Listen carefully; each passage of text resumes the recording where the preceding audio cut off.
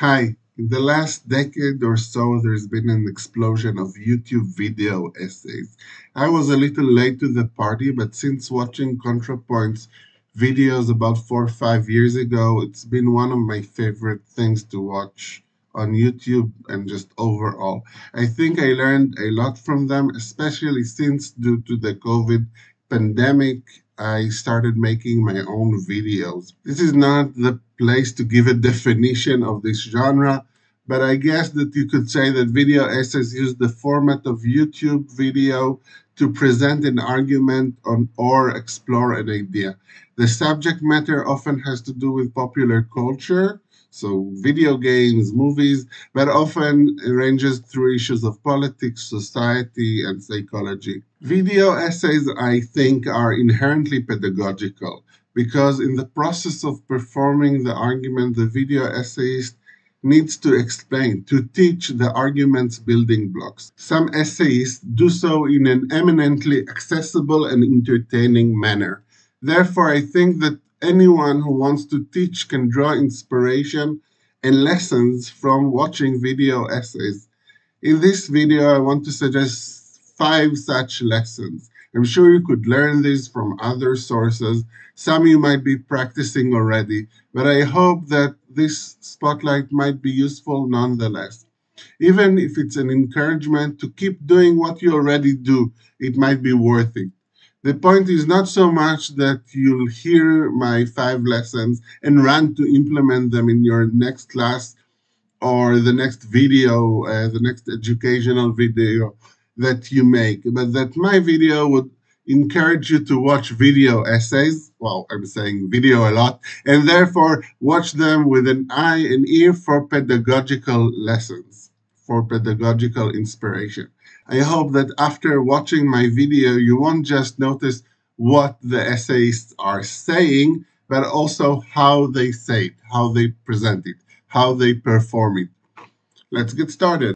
Lesson one Don't be afraid to go long. There's this prevalent idea around that attention spans are shortening. Everybody's on TikTok and Instagram, just scrolling, moving from one short thing, thing to the next. But learning takes a while and can't be done in two minute chunks. Sure, attention spans are short. I suspect they've always been short. But popular video essayists can remind us that people, even students, can pay attention for long durations. Dan Olson at Folding Ideas has a two and a half hour video about why NFTs are bad, which has more than 9 million views. Many of these viewers found it possible to pay attention for that long. Natalie Wynn ContraPoint has videos that are often more than an hour long and she has 1. million subscribers. She talks for an hour straight and people sign up. Tim Rogers at Action Button, where they make it a point to make very long videos, has a three and a half hour long video about the 90s computer game Doom, and a, and a six hour video about, to, uh, I'm going to mispronounce this, Tokimeki Memorial, a Japanese video game. The latter has a million views. Did everyone who clicked on the six hour video watch all of it? Of course not. But some did. And sure, on YouTube, you can stop and start. I watched the NFT video in three or four goes at least, the Doom video in seven or eight probably. So I'm not saying give six hour lectures without a pause. Don't even lecture for an hour straight probably. Still, video essays can remind us that people, even young people, can sit and listen for a while. So if the material demands it, yes, you might be able to talk straight for 30 minutes and more and especially if you are making an educational video, don't feel obliged to narrow yourself to into 10 minutes videos because of people's attention spans. Attention span widen if you make it worth their while. Lesson 2. Break it up.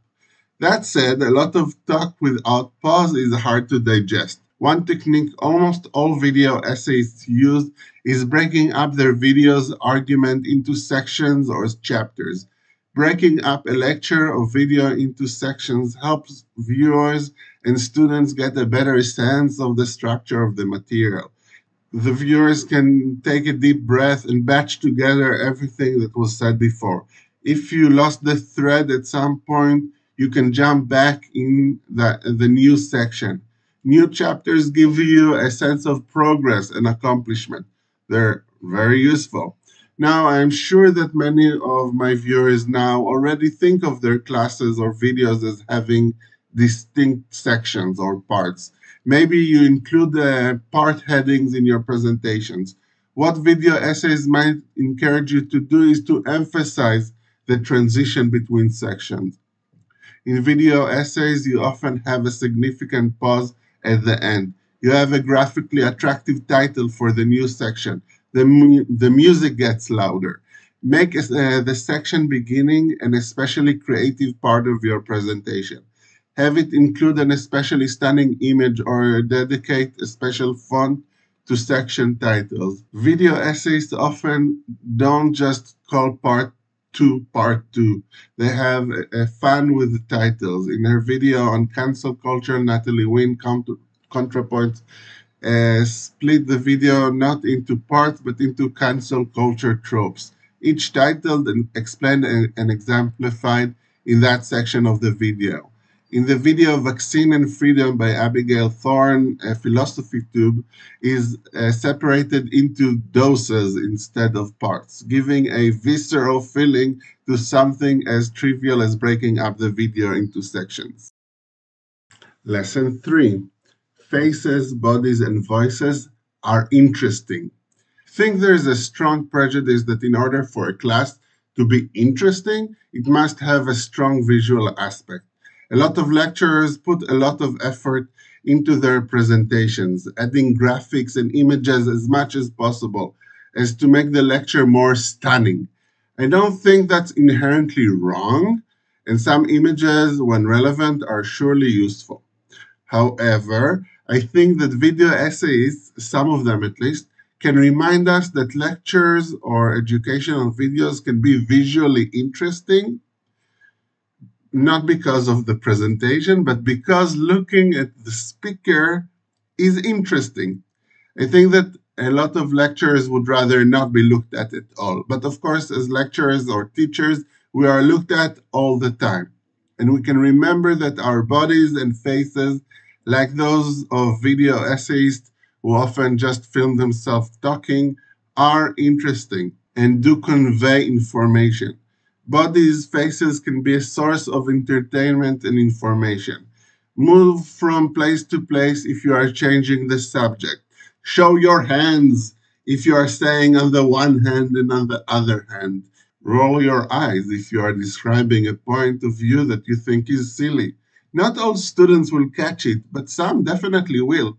And above all, don't feel like there needs to be a visually stunning slide connected to each and every point that you are making.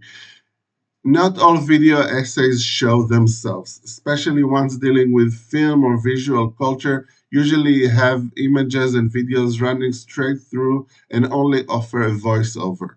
Be Kind Rewind, a channel about classical Hollywood films, is a great exa example of this style. Still, the voiceover work uh, that these essays do can remind you that the human voice can be interesting and effective. Try to hear how these video essays use their voice to create a connection with the audience and show emotions. Maybe use those ideas in your own performance in class. Lesson four, make it personal. As educators or lecturers, we often want to put the material at the center pretend some kind of lack of vested interest or subjectivity in what we teach. We don't want to talk about ourselves and our personal experience because students are here to learn, not not to be our friends or, or our psychoanalyst. This is, of course, a good approach, but some emotional or personal involvement from the lecturer and teacher can give life and a sense of relevance if the material makes you sad or makes you joyful, maybe it can make the students feel too. If the lecturer uses the material to think about events from their own life, maybe students can do so as well. Video essayists, and this is where they are most similar to literary essayists, often include some degree of the personal in their videos. This can be a show of emotional attachment to the subject. Look at hbomberguy. He's an expert at showing anger and exasperation at meager, the meager arguments presented by others. Sure, his style is over the top. He's known for violently breaking through plaster walls as he brings forward his argument.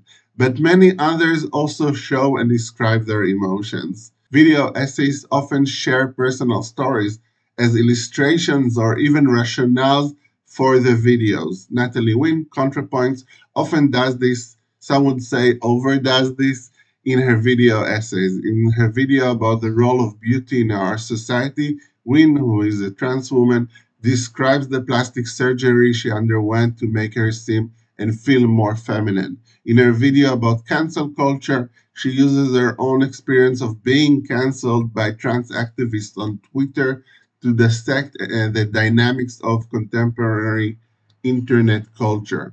FD Signifier opens his video about how black men are objectified by American society when he reads a DM he received earlier that week asking if he's circumcised.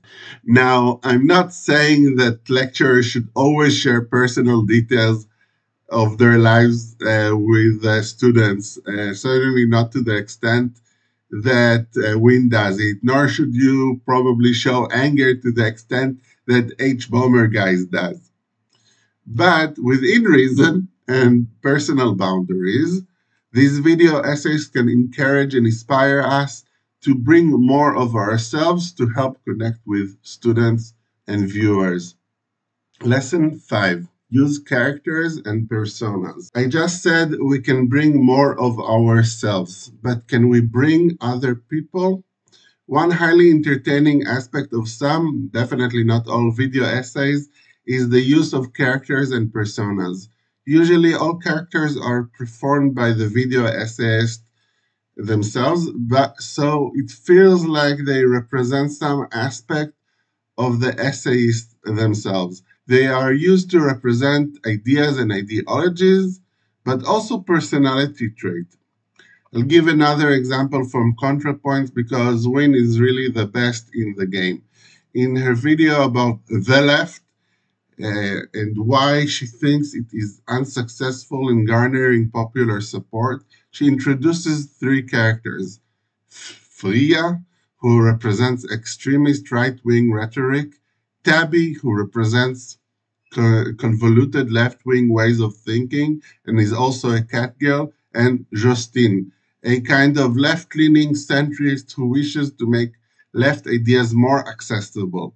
The uh, Uh, character is mostly caricature of ideas Wynn goes against, but is made more real for the audience because she is a visible person, not some abstraction. She's not saying, some people argue that blah, blah, blah. She shows a character saying those ideas. Tabby is more complex. She's definitely a caricature of a certain kind of leftist, but she also feels like a side of Wynn herself. Now, obviously, most lecturers will not have elaborate costumes or develop characters to perform for their students. I'm not saying buy cat ears and wear them to class. Though if you're going to do that that's awesome. But even if you don't have costumes like Wynn you can still produce characters. For instance i think that my partner my wife is a kind of character in my classroom i tell stories about her and repeat her opinions so my students get a sense of who she is you could do a slightly different voice when you are asking questions that challenge your uh, main argument maybe create this persona of a skeptic, sly lecturer uh, the, to accompany the more straightforward one that you present usually. So that's it for now. I hope we found this uh, list thought provoking or inspiring. I'll put links to the channels I talked about in the description as well as some other video essays uh, channels worth watching. If you think I made something simple, just more complicated, that's fine. Sometimes that's my job too. Thank you for listening.